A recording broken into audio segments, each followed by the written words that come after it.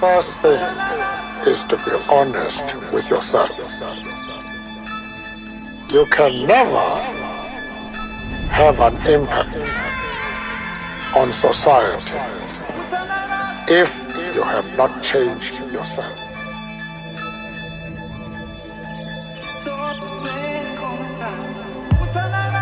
But humility is one of the most important qualities which you must have. Because if you are humble, if you make people realize that uh, you are no threat to them, then people will embrace you. They will listen to you.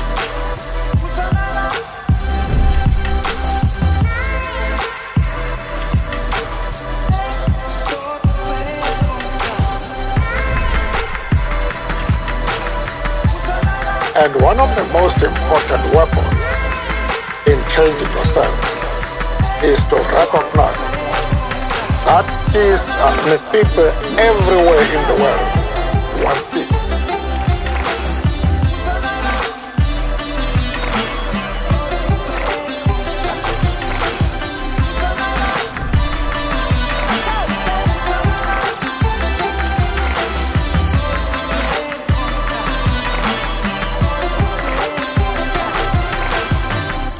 been walking and taking Ubers all over Johannesburg to look for the perfect spot to take a photo, and we finally found it. And where are we? Where do we find it? We found it at Hallmark House. It's not a, the question of a leader.